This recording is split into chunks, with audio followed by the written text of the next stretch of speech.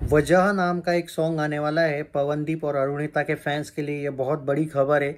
अभी एक पोस्टर उन्होंने रिलीज़ किया है चॉकलेट पाए सिंगल का जो ट्रैक रहता है म्यूज़िक पाए जो यूट्यूब चैनल है, वो अभी एट प्रेजेंट पवनदीप बहुत ज़्यादा उस चैनल के साथ काम कर रहा है, ऐसा लग रहा है मुझे। और अरुणिता और पवनदीप का ये सॉन्ग आना, ये काफ़ी बढ़िया बात है और अच्छा पोस्टर देखने को मिल रहा है। मुझे तो भाई बहुत उम्मीद है उस सॉन्ग से। और अनाउंसमेंट का भी मैं कभी वीडियो बनाता नहीं हूँ, लेकिन आज यार मन किया ये दोनों।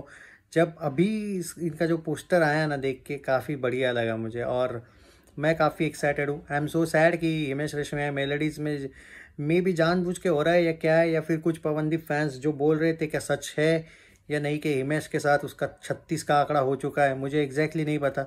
अगर अगर ऐसी बात है तो बहुत बुरी बात है, क्योंकि मुझे ये भी लगता है कि अगर सच में कुछ तो दम है इस बात में, वरना शायद रक्षाबंधन मूवी के सॉन्ग्स में जो मूवी है, उसमें शायद हिमेश पवनदीप को एक भी मौका नहीं दिया, ये होने ही नहीं वाला है।